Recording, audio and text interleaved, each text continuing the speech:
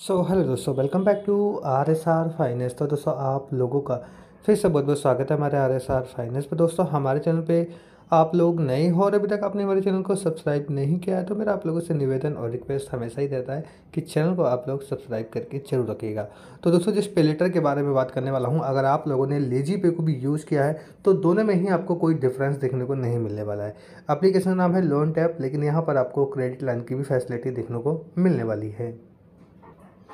Recently जो है मैंने इसको ओपन तो कर दिया है बट थोड़ा सा आपको डिटेल में यहाँ समझाऊँगा कि आपको किस चीज़ के लिए अप्लाई करना है और किस चीज़ के लिए नहीं करना है। यहाँ पर आपको दो ऑप्शन देखने को मिलने वाले हैं। एक आपको मिलेगा पर्सनल लोन और दूसरा मिलेगा क्रेडिट लोन देखिए क्रेडिट लोन में होता है कि आपको जो भी क्रेडिट लाइन मिलेगी, आप उसे यूज़ कर सकते हो। एटीएम से विड्रॉल कर सकते हो ऑनलाइन शॉपिंग कर सकते हो, कहीं भी उसे यूज़ कर सकते हो। और पर्सनल लोन में क्या इशू होता है? देखो दोस्तों पर्सनल लोन में इशू आता है बट मैं आपको पर्सनल लोन में आपको वन टाइम ही लोन मिलता है बट मैं आपको रिकमेंड नहीं करता कि आप लोन लोन टैब में पर्सनल लोन के लिए अप्लाई करें।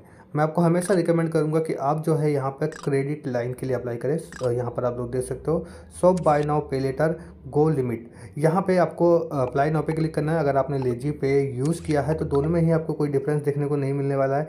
ये कार्ड आपके घर पर डिलीवर किया जाएगा और यहाँ पर आपको अच्छी खासी लिमिट मिलेगी।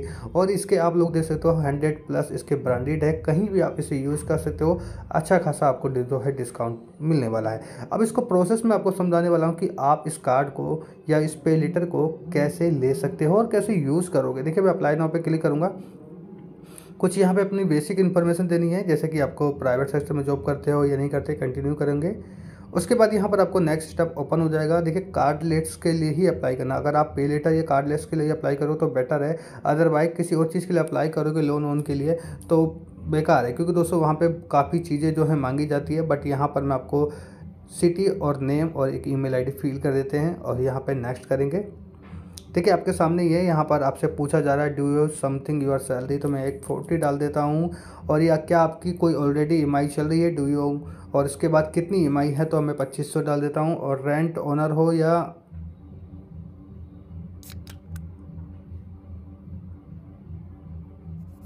जी, अब आ चुके हैं अपने नेक्स्ट स्टेप पे, जैसे कि आपको पैन कार्ड फिल करना है और डेट ऑफ़ बर्थ फिल करना है। तो डन, मैं ये चीज़ें कंप्लीट कर लेता हूँ दोस्तों। अब पैन कार्ड तो मैंने फिल कर दिया है बट यहाँ पे अब मुझे लॉगिन करना होगा तो मैं लॉगिन करने के लिए मोबाइल नंबर फिल कर देता हूँ। तो यहाँ पे मैंने सक्सेसफुली लॉगिन कर लिया है। अब मुझे एक वीडियो वेरिफिकेशन करनी होगी तो यहाँ पे मैं वीडियो वेरिफिकेशन भी कर लेता हूँ।